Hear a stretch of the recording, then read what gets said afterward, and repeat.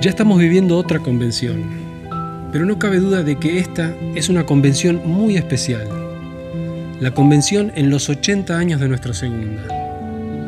No solo por lo que significa haber podido cumplir 80 años en una actividad basada en la confianza, en los valores, en un país, un país difícil, sino porque no solo nuestro país, sino el mundo está entrando en una nueva época una época en la que varias generaciones se dan cita a la vez. Y si como empresa no queremos ver esta realidad, estaremos perdidos. Por un lado, algunos como yo, tenemos una mirada puesta en nuestros fundadores, en aquella misión de mantener siempre los principios que nos legaron. Todavía conservo el portafolio que me dejó. Y por otro lado, necesitamos extender la mano a nuevas generaciones que ya son mayoría dentro de la segunda. Es verdad, pareciera que en muchas cosas somos distintos, pensamos distintos, vemos la vida de otra manera, es verdad. Y es por eso que en esta convención que vamos a realizar en Tierra Misionera, tenemos precisamente una misión. Una nueva misión para que nuestra empresa pueda seguir creciendo fiel a los principios que la vieron nacer. Ya deben estar llegando para la reunión quiero proponerles la misión.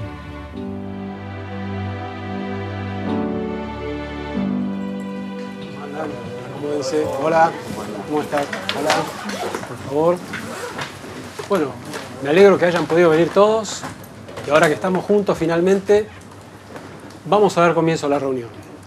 Ustedes, los baby boomers, dicen que les gusta competir, triunfar, ganar plata, no quieren pasar por las privaciones de nuestra generación o tal vez la de nuestros padres, no piensan en retirarse nunca.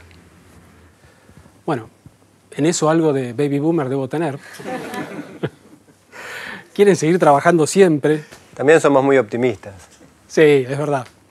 Es bueno ser optimista. ¿Y ustedes son de la generación? X. Escépticos. Perdieron la fe en las instituciones, y en la gente. Tal vez algo de culpa tengamos nosotros de que hayan perdido la confianza. Tenemos fe en nosotros mismos. Me gusta. Show me the money.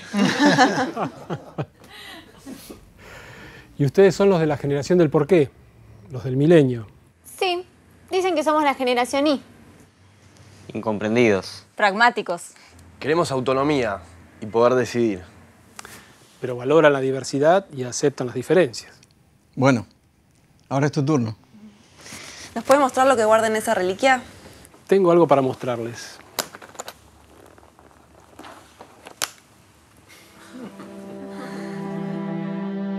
Yo soy la voz de esa generación que desde hace años está en la segunda. Una generación que se siente como este río. Hemos venido caminando tranquilos hacia un destino que imaginábamos iba a ser también tranquilo hasta que, de repente, nos encontramos con nuevas generaciones. Y todo cambió. Parecía que nos íbamos a venir en caída sin destino, desconcertados, atemorizados. No advertimos que percibíamos equivocadamente la realidad. Estamos viviendo una de las grandes maravillas de la evolución de la vida, renovarnos por entero, para así, con nuevas energías, volver a tomar un cauce nuevo. Y muchos no nos hemos dado cuenta. Muchos seguimos asustados en lugar de ver la belleza y la verdad de la vida en todo su esplendor. El agua es como la humanidad. En esencia siempre es la misma. Así la veamos como río o como saltos gigantescos o como un pequeño arroyo. En esencia es la misma, se desplaza buscando llegar de una u otra manera hacia un inmenso mar. La humanidad, ya sea en una época o en otra, en una generación o en otra, puede mostrarse diferente, pero en esencia también es la misma. Tiene sueños, esperanzas, miedos, ilusiones, alegrías y tristezas. Puede elegir caminos distintos para llegar pero para llegar a ese mundo mejor que siempre sueña llegar. Y esta época nos lleva a ese mundo soñado, a ese océano de paz. y lo vamos a lograr.